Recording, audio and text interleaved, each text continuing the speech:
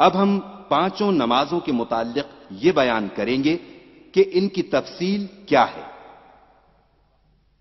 فجر کے وقت دو رکت سنت، پھر دو رکت فرض۔ جو دو رکت سنت ہیں، وہ دو رکت فرض سے پہلے پڑھنی ضروری ہے کیونکہ فجر کی نماز میں دو رکت فرض کے بعد سورج نکلنے تک کوئی نماز نہیں پڑھنی چاہیے۔ ظہر کے وقت پہلے چار رکت سنت موقع پھر چار رکت فرض، پھر دو رکت سنت، اس کے بعد دو رکت نفل۔ عصر کے وقت اگر وقت ملے تو چار سنت غیر موقع پڑھ لیں، ورنہ چار رکت فرض کافی ہے۔ مغرب کے وقت تین رکت فرض، پھر دو رکت سنت موقع پھر دو رکت نفل۔ اگر وقت ہو تو ان دو نفلوں کے بجائے آپ چھ نوافل پڑھ سکتے ہیں۔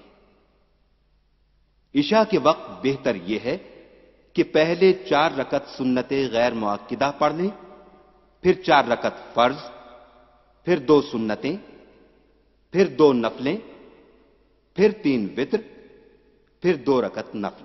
آخر میں پڑھنی چاہیے۔ یہ تو ایک تفصیل ہوئی۔ لیکن اگر یہ ترتیب بھی ہو جو آپ سنیں گے تو بھی صحیح ہے۔ یہ ترتیب جو آپ کو بتلائی جا رہی ہے، اس ترتیب سے بھی فجر، ظہر، عصر، مغرب اور عشاء کی نماز ہو جاتی ہے۔ فجر کے وقت دو رکت سنت پہلے پڑھیں، پھر دو رکت فرض۔ ظہر کے وقت پہلے چار رکت سنت، پھر چار رکت فرض، پھر دو رکت سنت۔ عصر کے وقت چار رکت فرض۔